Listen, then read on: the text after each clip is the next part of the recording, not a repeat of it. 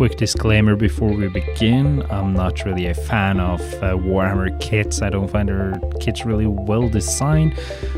But the guys over on uh, the Squidmar Discord sent me this Sentinel to.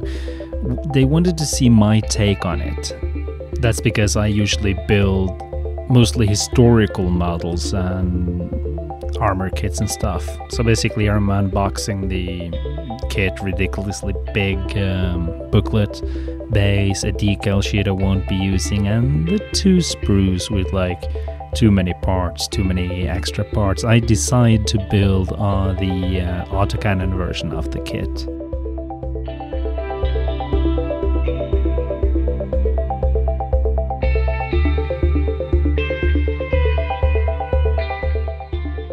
Now the Sentinel kit is a pretty old kit, and I have to say the sprue gates on on the kit is ridiculously big, and and they're placed over curved areas, which makes it very difficult to like clean them and still maintain a part. Uh, I swear by the Tamiya Extra Thin Cement. It has some great um, properties to it, especially that you to reduce a gap between two parts, you can basically just apply the glue and squeeze it as the cement melts the plastic, and it will kind of reduce the gap somewhat and sometimes completely.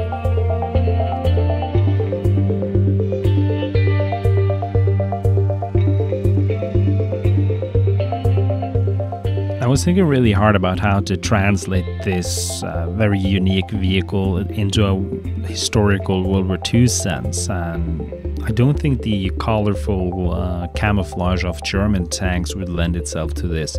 So I went for a very simple olive drab as the uh, US Army had on their tanks and their jeeps and stuff like that.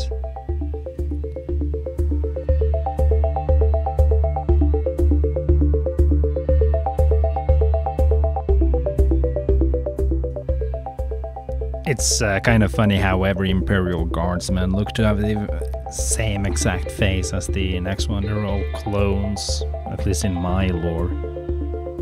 Now for priming, I prime through an airbrush and I use the uh, Ammo by MiG one-shot primer in grey because it's neutral and it works, it's fine. Um, I use it through my cheap uh, Sparmax airbrush, which I have always been using. As with any uh, visible cockpit uh, kits, uh, it's best to paint them before assembly. And US tanks during the war had an ivory uh, interior color. So I chose to replicate that with the Vallejo buff and the AK off white because I don't have a ivory color, so I just mix them. And then I airbrush the, the interior parts with that.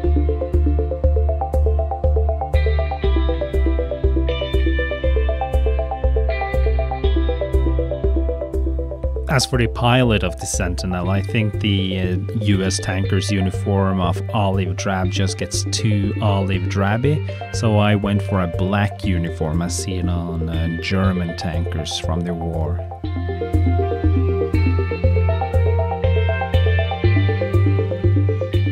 Now, as I've experienced, it's usually a good idea to check how much is visible off the interior before you go crazy on uh, on the details. Now, the interior details were simply picked out with uh, the AK third generation rubber black, which is sort of like a dark gray, basically, um, and then um, some uh, red and white as well.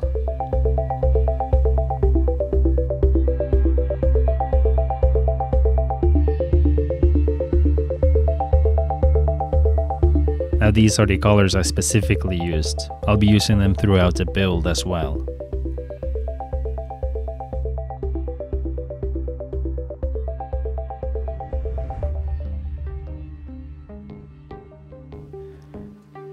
Now the rest of the uh, pilot's uniform was highlighted, and then the highlight was uh, toned down a little bit with a glaze.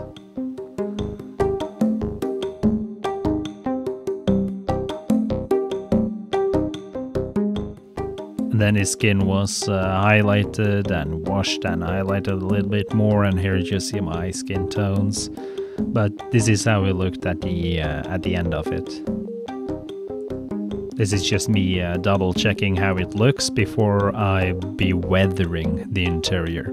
And that I'll do with some odorless white spirit and some cheap uh, oil paint. This is burnt umber specifically.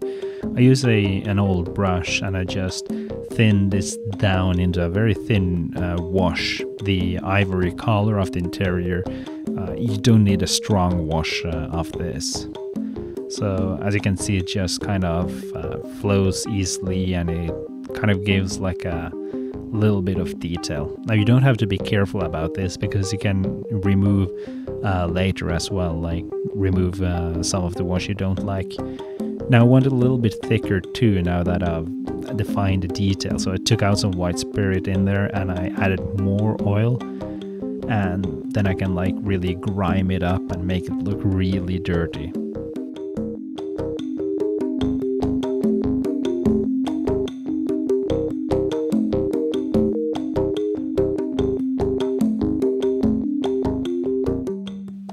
And then where I've done too much, I'll just apply uh, white spirit on the brush and I'll just simply brush away the effect where I think it was too much. Now for my favorite, chipping. I'll be using Vallejo's um, dark rust and I'll just be stippling basically with another brush to give it like a more worn appearance. And I'll do this primarily where the crew would have been handling the um, the vehicle more. And during assembly to avoid the gap at the uh, at the front, I'll try to apply glue and then I'll just try to squeeze the gap away until more assembly is needed.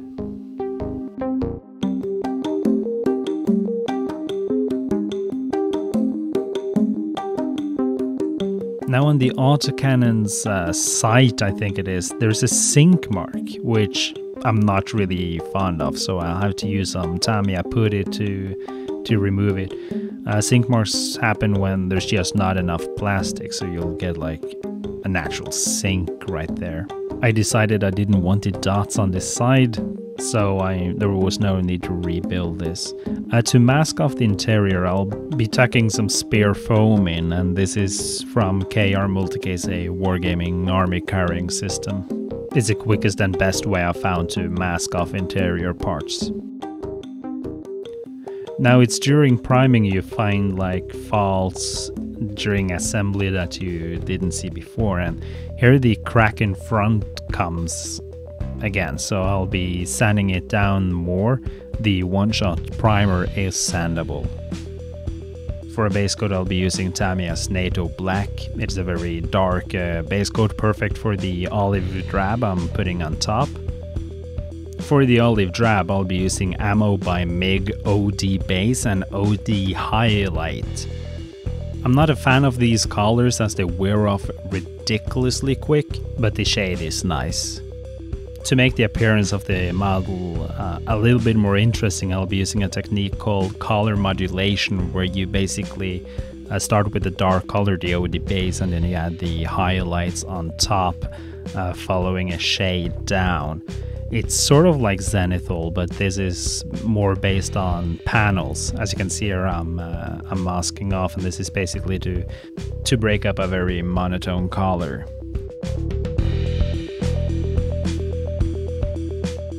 As you can see, it makes it more interesting to look at. And then I'll do one final layer with some white mixed into the uh, OD highlight. I'll do this very carefully just along the top. It seems very pronounced, but uh, through weathering this will be toned down.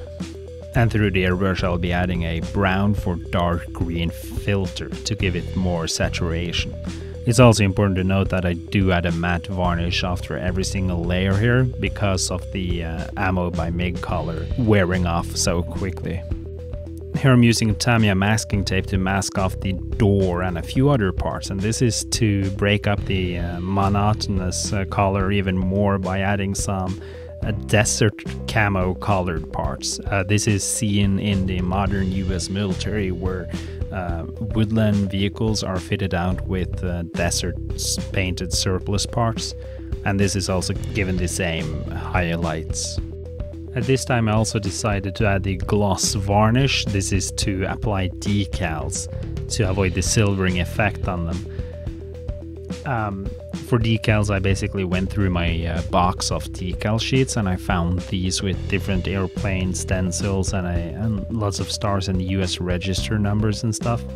So I basically took what seemed to fit and be appropriate. My decal softening solution of uh, choice is the Microsol.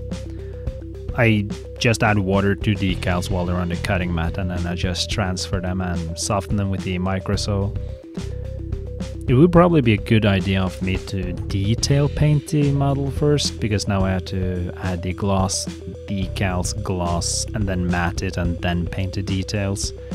So it's kind of an unnecessary step on my part, compared to just painting the details and then adding the gloss, decals, gloss, and then weathering effects. But oh well. Here I'm going over with uh, matte varnish and then I'm gonna start detail painting. First by adding more highlights by brush on like exposed parts. This is just to break it up even more.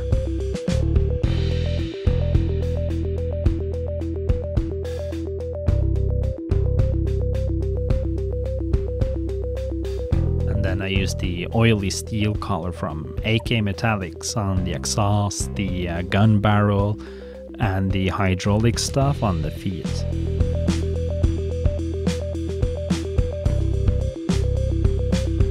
Now I wanted to give the exhaust and the barrel the um, the tinted, heated metal look, so I started with bronze through the airbrush, uh, followed by metal medium mixed with way too much blue, so it wasn't any metal uh, left. Um, so I kind of got the entire effect, to be honest, but I fixed it up with more bronze.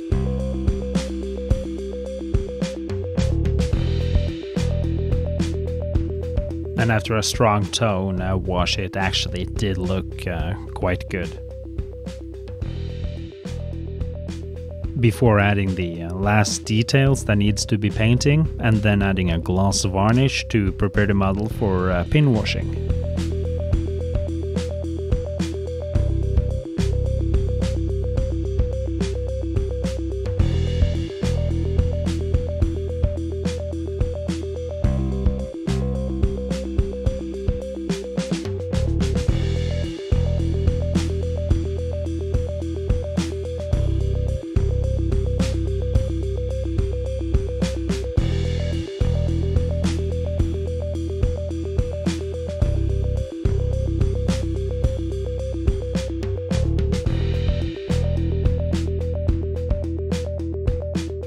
Let me introduce you to my good friend, the Tamiya Panel Line Accent Color Dark Brown.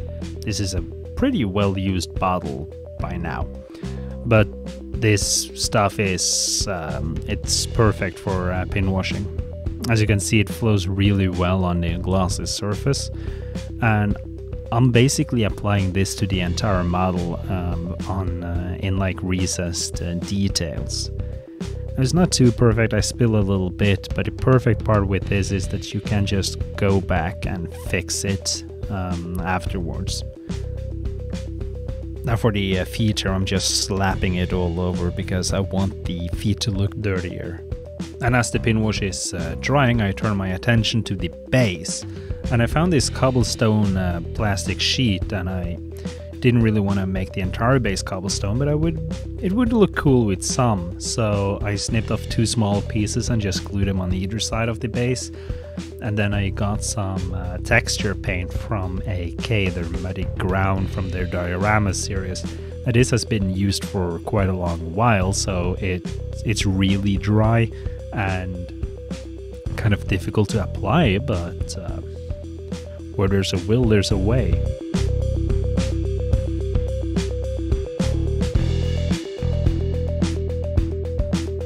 Now on the plus side, it dries really quickly, so the entire build time for this uh, kit was just 3 days. And then to clean up the pin wash I used the odorless white spirit again. Um, well, it's odorless thinner per the label that has worn off. So basically you just use an old brush and you just start removing the pin wash where you don't want the pin wash to be. It it's magic. It works brilliantly, but like there's nothing more to it.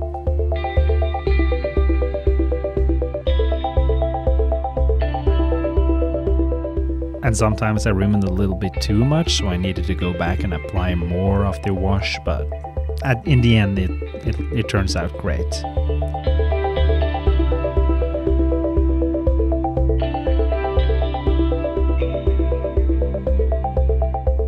Now as the thinner is drying before I add another layer of varnish, I go to the cobblestone and I paint it black and then neutral gray and then slightly brighter gray and then I pick out a few uh, cobbles in an even brighter one. It looks kind of stark but this will fade down as we keep on working on the base. Now the muddy ground texture gets a dry brush of a beige color to really make it look more earthy.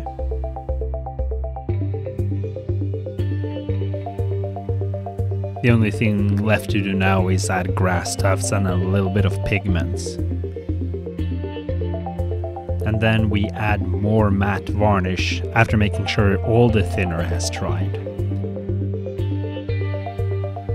And this is when we go back to our dark rust and we start adding more chips and scratches all over the model.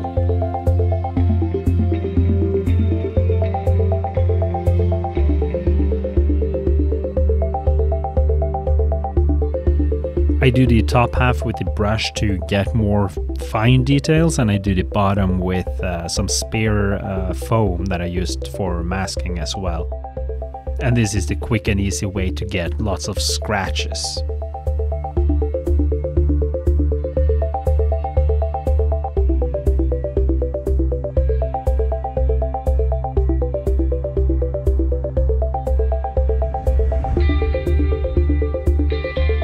And then it's pigment time. I got this ammo by Mig Dark Earth, then I got some really old Mig um, Light Dust, Light Earth something, and then black. I add some pigment randomly on the base to kind of um, break up the uh, even color of it because ground isn't really even colored at all. And then I also add some more up on the legs, but not too much of the dark earth one and then I'll go over with the uh, light dust and I'll add this uh, pretty far up but not much on the top. It is kind of a reversed highlight, you want more in the bottom, less on the top. And then I'll do black on the uh, exhaust and a little bit on the muzzle of the autocannon as well. And then I'll be using some odorless thinner again to uh, clean up the uh, pigments, where I think there was too much of it.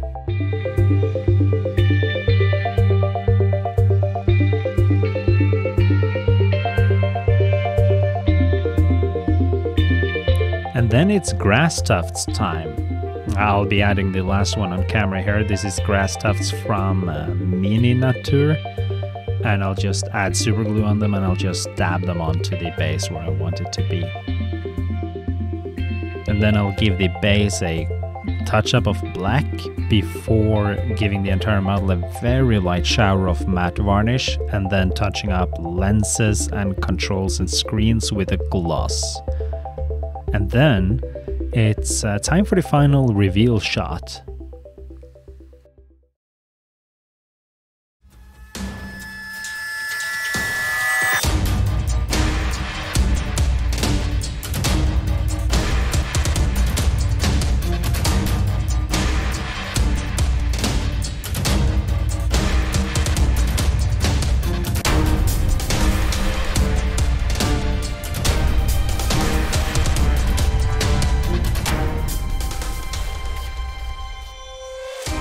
Uh, thanks to those who gave me the kit, and they say there's more Warhammer kits coming as well. Uh, but anyways, thanks to Cyril, Marg, Orin, Gas, Spexidor, Snow, Emil, Dennis, Matthias, Squish, Sog, and Mark. You guys are excellent. Thank you.